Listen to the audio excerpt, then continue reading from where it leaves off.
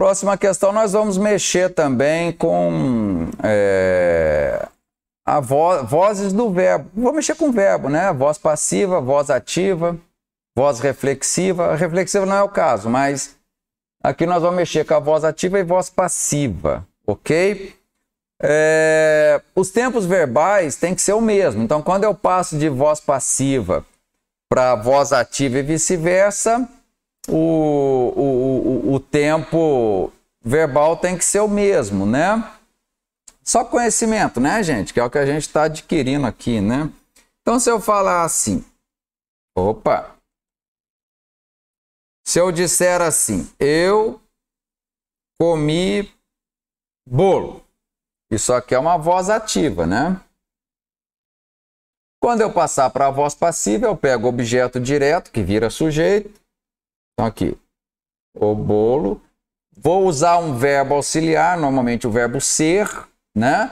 No mesmo tempo do verbo da voz ativa. Então, qual é o tempo do comi? Eu comi, tu comeste, ele comeu. O que, que é isso? Pretérito perfeito.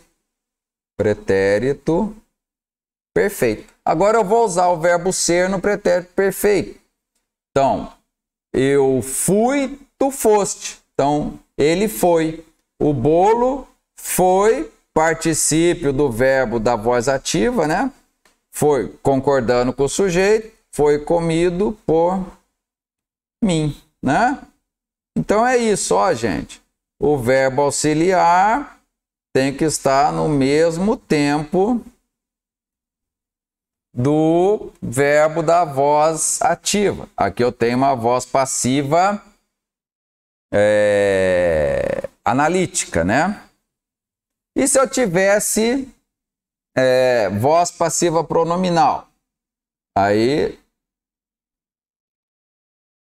comeu-se o bolo. O que, que eu tenho aqui?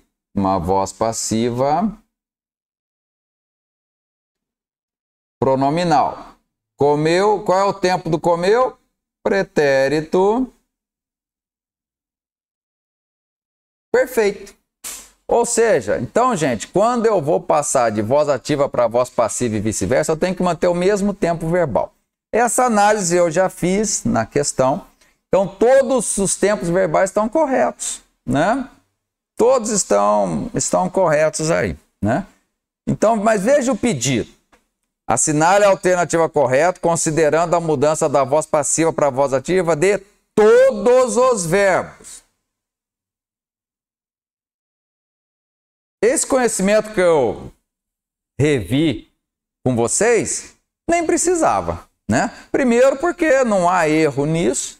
Mas segundo, porque aqui que eu vou matar? Eu vou matar com isso. Alguns verbos continuaram na voz passiva.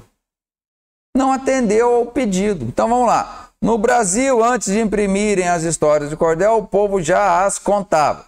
Essas histórias que foram trazidas, ó, Voz passiva. Voz passiva. Verbo ser mais particípio. Verbo estar mais particípio. Voz passiva, né? Então essa aqui cortou, eu tenho um verbo na voz passiva e ele quer que todos os verbos estejam na voz ativa. Letra B. O povo contava as histórias de cordel que reproduziam outras, as quais os portugueses trouxeram tempos depois, imprimiram-se essas histórias no Brasil. Ó, o que, que eu tenho aqui? Voz passiva pronominal. Voz passiva.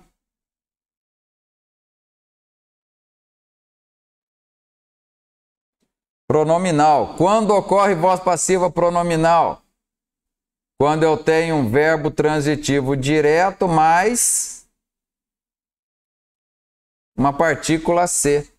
Ó, VTD mais C, eu tenho que pensar em voz passiva.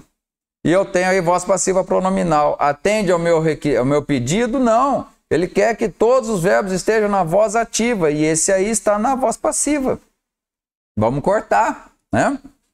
Os portugueses trouxeram as histórias de cordéis que reproduziam outras e o povo as contava antes mesmo de. No Brasil, imprimirem nas. Agora não é mais o C, né? Agora eu tenho uma voz ativa. Essa C está toda na voz ativa. Né? A voz passiva é com o pronome se. Tá? Ó, voz passiva eu tenho que usar qual pronome?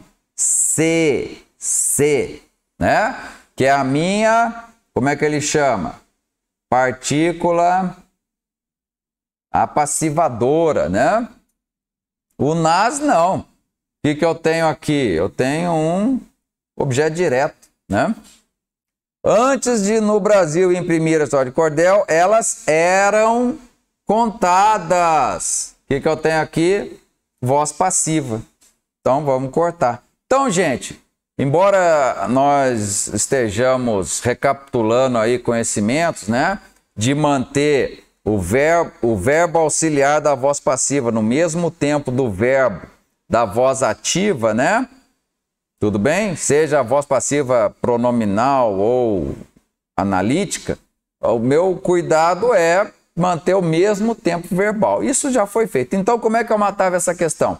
É só eu ver, né? Era só eu, eu vir, no caso, que alguns verbos estavam ainda na voz passiva, analítica ou pronominal, e você cortar a alternativa, ok? Vamos para a próxima.